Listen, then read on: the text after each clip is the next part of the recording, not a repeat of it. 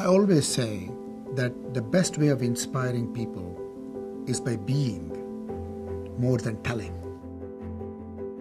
In general, what we are doing is we are pushing against planetary boundaries. In other words, we are sort of looking for more resources than the planet really has to give us. In the worst case scenario, it will lead to a regulation of the population size. It, it will lead to the loss of habitability. Eventually, then also will lead to the loss of life. I think it's important to recognize you get many, many definitions of what sustainability is and ways to define it. I think about sustainability in terms of two big questions. One is how do man and nature thrive together indefinitely into the future? And the other is how do human beings find meaning in living in a sustainable way with nature? I think people think of the triple bottom line when they think of sustainability. For me, it's more personal. I have two children, and it's the world we're going to leave them. Sustainability is, of course, the science of thinking about where have we come from and where is the planet going. And that includes the natural systems, the biological, the chemical systems, but also, and importantly, the human domain, Nature works the way that it does because it's got 3.8 million years of research and development that has gone into it. We've come along very quickly and have developed our own rules that unfortunately don't take into account all the unintended consequences and the connections that nature has, that natural law provides. Sustainability is about recognizing those connections, that everything is connected, and we as humans are connected. We can't have a sustainable society if we have tremendous inequity. We embed sustainability into every big decision we make. I work directly for the CFO, and with that comes some great responsibility in that we're balancing sustainability with our economic decisions. So we're role modeling this effort not only for other universities and higher ed institutions, but also for our local cities and governments. When we look at the economic analysis, a lot of times it's less expensive to build something that is going to emit carbon emissions. We take a long-term view as we build buildings and we're trying to, we put a, a, price on carbon. If you invest a little bit now, it'll pay back later. So it does actually make economic sense and it certainly supports our efforts of sustainability. So we're looking at a carbon neutral building policy. So our baseline year for most of our goals is 2007. And since 2007, we've reduced our energy usage per student by essentially half.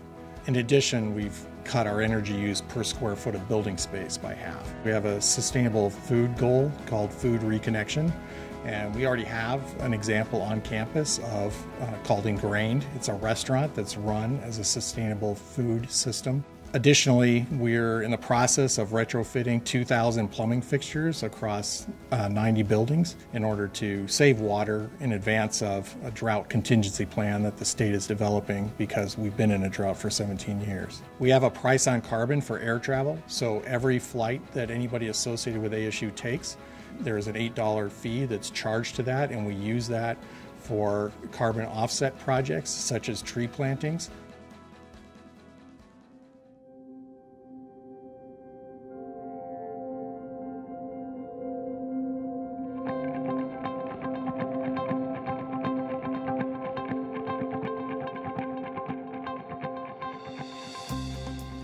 We are the largest deployer of solar panels in terms of generating the electricity needs, the energy needs for the university. We have over 90 installations across our various campuses, and more than half of our electricity energy needs are essentially derived through this deployment of solar panels.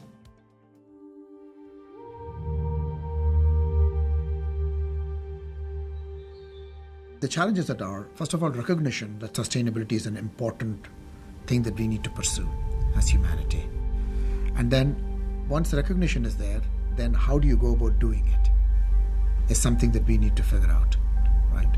And that is not just one or two entities. everybody has a role to play in this. I think we can manage all of these challenges, but it's going to take imagination.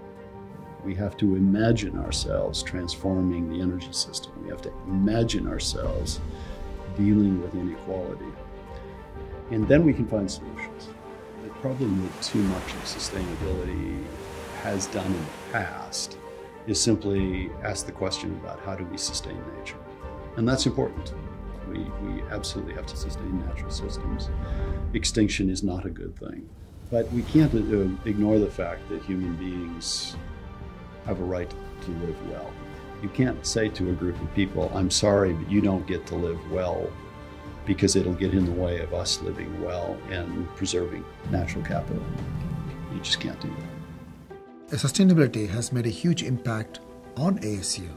The way we think, the way we act, the way we configure and reconfigure ourselves.